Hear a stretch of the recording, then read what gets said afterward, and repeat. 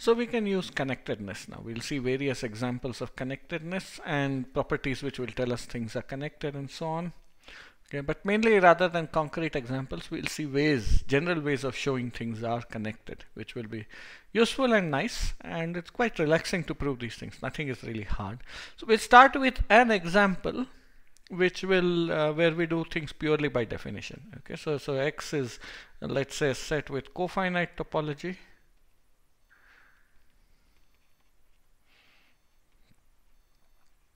then what we know is A contained in X is uh, open and closed.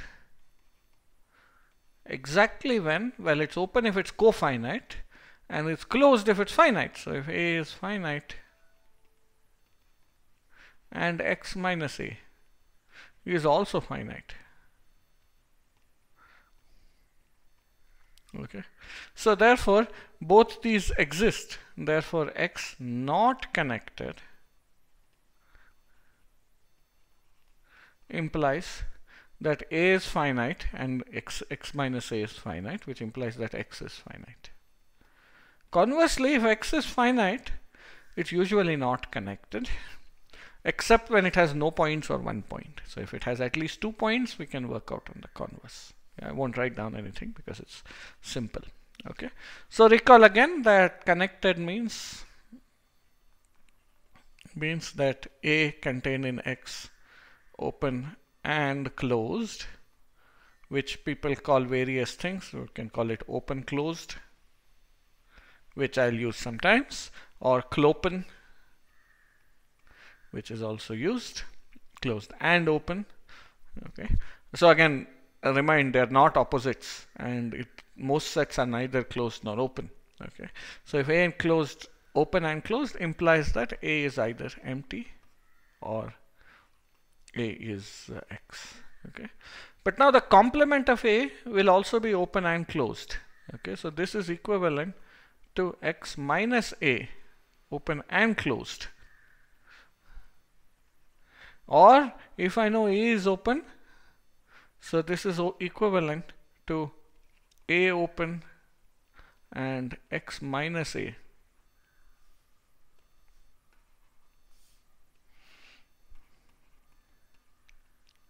Open.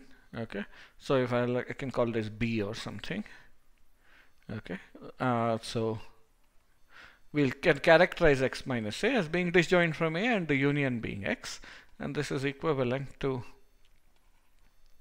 a is open, uh, sorry, closed.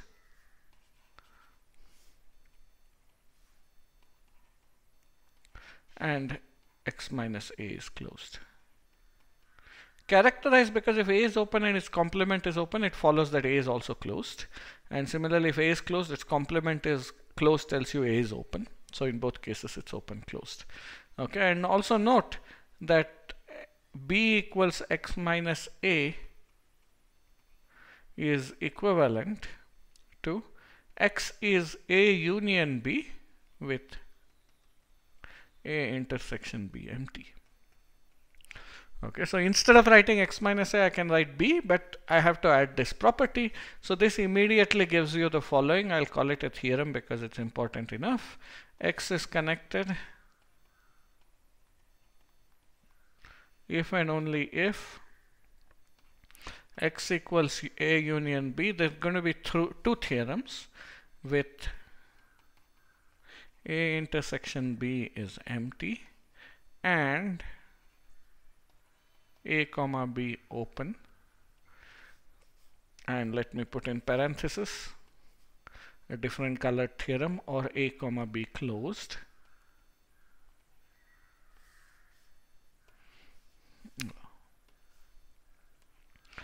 implies that x equals a or x equals b. Now in both these cases, if both are open or both are closed, we have x equals a or x equals b. And equivalently, I'm going to have it as orange because it doesn't match these. So you can say four theorems in all. Uh, x, is, uh, sorry, uh, a is empty or b is empty. One of them is empty.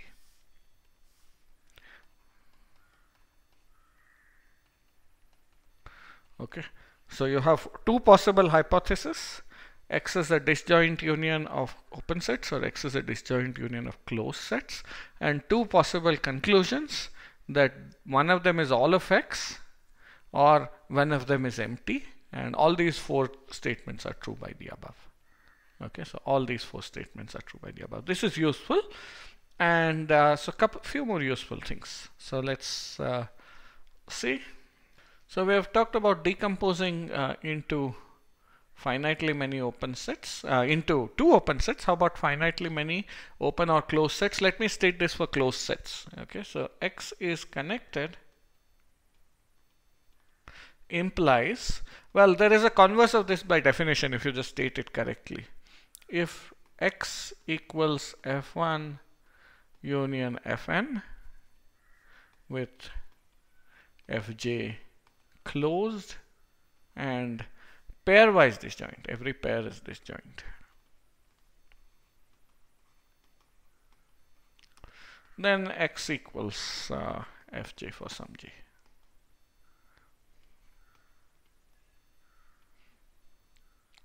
And equivalently, everything except fj is empty. So this was a more succinct way of writing it and the proof is clear. So the converse is true as long as you insist n is greater than or equal to 2. If n is 1, of course, this doesn't tell you anything. Okay, so of course, the proof is just the definition plus the fact that union of finitely many closed sets is closed. So X is F1 union F2 union Fn.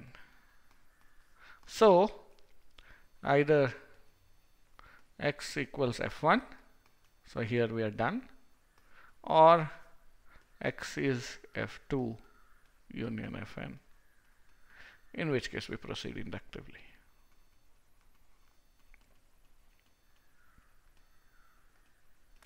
Now, as soon as you see this proof, you should realize two things. I mean, two things are such instances. This won't work for infinitely many or arbitrary collections. Clearly not because uh, points are closed in say real numbers and the real numbers are connected but they're a union of points. So you can't take infinitely many closed sets. But since we looked at unions, you expect nicer things to happen for open sets. And indeed, I'll call this also a theorem, that's easy. And here, since we'll use this, we'll state it in apparently greater generality. Okay, so suppose A is contained in X is connected. And for emphasis, let me write example. It could be that A equals X itself is connected. But your whole space may not be connected. We are looking at a connected subspace. By the way, real numbers have many non-connected subspaces. So converse is also not true. If a space is connected, subspaces need not be connected. But let's take the generality of a connected subspace of a space. Whether X is connected or not is irrelevant. It could go either way, but we need this is connected. And a is contained in union alpha in A of U alpha, where U alpha contained in X are open and pairwise disjoint. If, if a connected set is contained in a union of open sets, then it's actually contained in one of them. Then A is contained in U alpha naught for some alpha naught. Okay, so this is a way in which connectivity will be used heavily, not just in this course, maybe not so much in this, but as you use topology further when you study manifolds, algebraic topology and CW complexes, whatever else you uh, study with topology. Okay, so a connected set is covered by op open disjoint sets, it's contained in one of them.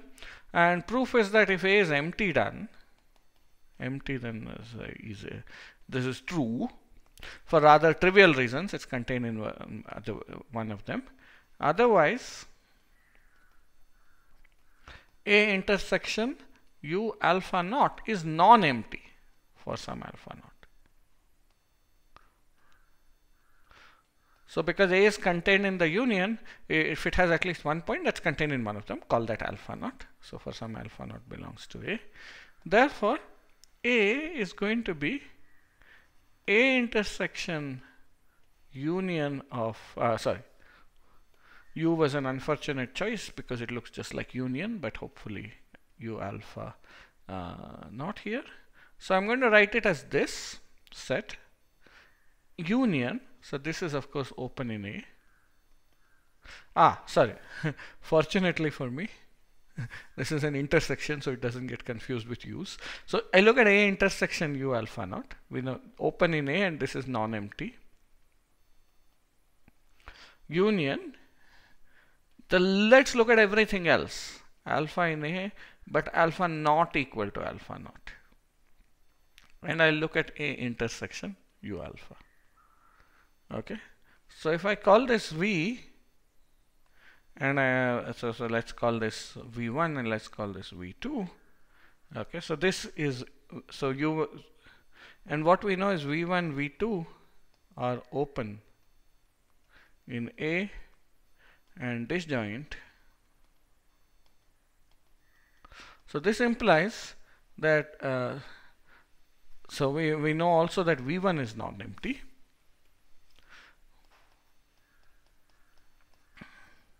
This implies V2 is empty. So or A does not intersect any U alphas. So it has to be actually contained in U alpha naught. Since it's contained in all their unions and it's disjoint from everything but one, you are contained in all of them. Okay. So uh, we use the fact that union of open sets is open. This, as I said, is a useful result. Now, our next bunch of results, which will be quite easy to prove, but will be extremely useful, will tell us how we can patch together connected sets. So perhaps a picture is justified. If I have a bunch of connected sets, well, if I just had two connected sets like this, the union need not be connected. In fact, won't be. But as long if they overlap with each other, many of them, the result will be connected. You can see that. That is, if they have a common point in them, and there'll be another version of this. We'll see these two versions of these and the first one will let us also define connected components which we will see in the next video. Okay, so let me note the following. I'm calling all these theorems because they are important. Next I'll is not so important. But so here's a theorem. If X is union, this time it's not going to be a disjoint union. In fact, uh, X is union of X alpha. X0 belongs to X and x0 belongs to x alpha for all alpha in A. So I have a space. Okay, so I better, since the sentence is getting long, I better say, suppose this is the union, x0 belongs to x, and it's in all of them. If x alpha is connected for all alpha in A, then uh, uh, X is connected. So if you glue, if you have connected sets that overlap in a point, then the result is connected. So as in many cases, rather than closed and open sets, it's most convenient to start with a union of open sets. So suppose X is, let's say, V1 union V2, Vi open and disjoint. Okay. And now suppose without loss of generality, this point x0 belongs to V1. V1 is the point containing this. Okay. Then what we know is that then V1 intersection x alpha is not empty for all alpha. Okay. And now what we know by this is as x alpha is connected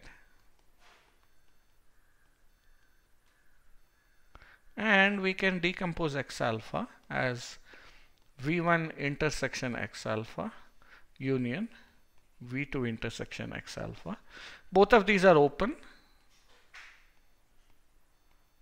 and the union is a disjoint union. Okay. In fact, let me use the disjoint union symbol here to emphasize that. So this is a symbol for disjoint union. X alpha is a disjoint union of this set and this set. Okay, X alpha is this. Well, it's connected, so it implies that V1 intersection X alpha is empty or V2 intersection X alpha is empty, which implies that V2 intersection X alpha is empty. Because we know V1 X intersection X alpha is non-empty, and so X V alpha is actually contained in V1. So the particular thing that contains the special point Thus, x alpha is contained in V1 for all alpha, which implies that X is contained in V1. Okay, I'll state another result which is nice, but we'll just leave the proof as an exercise. Very similar to this. So suppose X is the uh, some Z union, such a union, alpha in X, uh, alpha in some collection A of X alpha, and Z and X alpha connected and Z intersection X alpha is non-empty for all alpha in A. So here now we have a connected set and we have a bunch of sets which may not overlap at a point but they all must intersect the common connected set. Okay, so if uh, for all alpha in A then X is connected. Okay, so here I will say uh, this proof I leave as an exercise. It follows essentially the same lines as the previous result. You take a union of two sets which are open and disjoint. At most one can intersect Z and must contain Z because Z is connected. And uh, mm, so that particular one, let's say V1, is also going to contain all of the X alphas because it uh, uh, from the fact that X alphas are connected. They can't intersect both V1 and V2. And so if they were contained in V2 and Z is contained in V1, they can't intersect each other. So I just orally gave the proof. And this proof is an exercise. So we see that we can construct lots of connected sets by gluing together uh, connected sets. Okay. Uh, now while this was elementary, we need a couple of other results which are quite important. So we'll see them right away before we turn to connected components which is which will use the theorem here. So here's another useful theorem and when we come to the topologist sine curve and so on we'll actually use this. So suppose A contained in X is connected then its closure A bar is connected. Note the interior need not be connected. So for example, I could have two a connected set like this and the interior is the two interiors of the disk and that's not connected.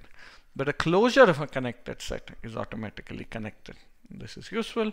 This time we'll write it as the union of, uh, so to, we'll write, so suppose A bar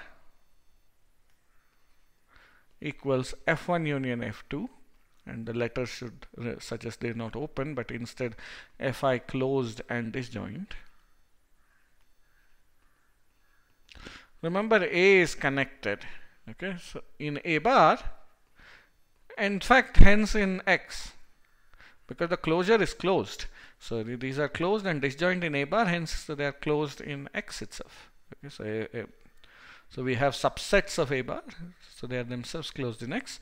And now what we notice that A is A intersection F1 uh, disjoint union A intersection F2 so these are both closed in A so this implies because A is connected that A intersection Fi is uh, is all of A for some i. Say a intersection f1 equals a. This implies that a is contained in f1 but note as f1 is closed not just in a bar but in x so and a is contained in f1 this implies that the closure is contained in F1. That was the property of the closure. It's the intersection of all closed sets containing A. So it's the smallest closed set is containing A. Okay, as required. So what we were required to show is that according to that forked many theorems is that if we had uh, a, a if we had closed disjoint sets that covered A bar then one of them is actually equal to all of A bar and indeed that is the case. And the final theorem, which is really very important, maybe one of the most, because it implies the intermediate value theorem. Again, you could apply this for A equals X, but I'll state it like this. Suppose A in, contained in X is connected. and uh, f from x to y is a map. So if I have a connected set and I look at the image, then f of a is connected.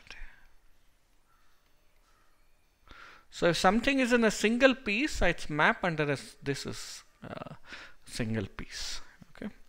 So the corollary of this is that if f is a homeomorphism, its image is also connected under the homeomorphism. So connectedness is a topological property, meaning if f is a homeomorphism from x to y, so I'll just write corollary here, f from x to y homeomorphism,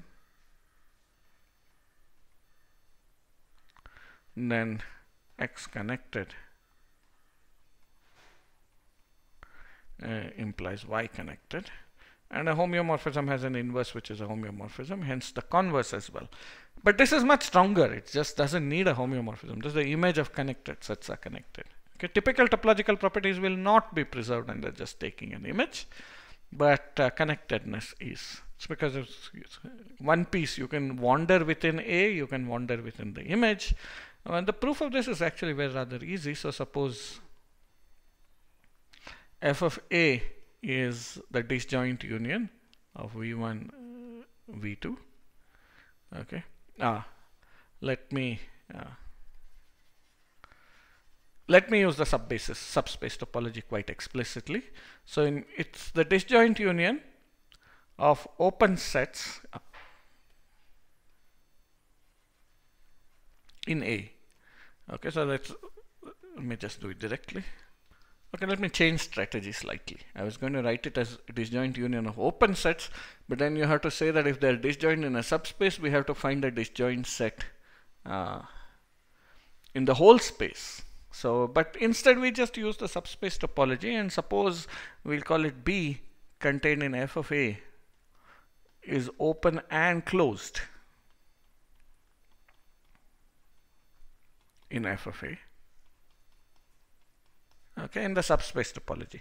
So it's the intersection of f of a with some open set and with some other closed set in a. Okay then it follows by definitions that f inverse of b well inverse image of an open set and a closed set under continuous maps are open and closed. So f inverse of b this is contained in a is open and closed. But a is connected. So which implies that f inverse of b is either A or f inverse of b is the empty set. And this of course implies that b is either f of a or b is empty as claimed. So the image of an open set is uh, of a connected set is connected.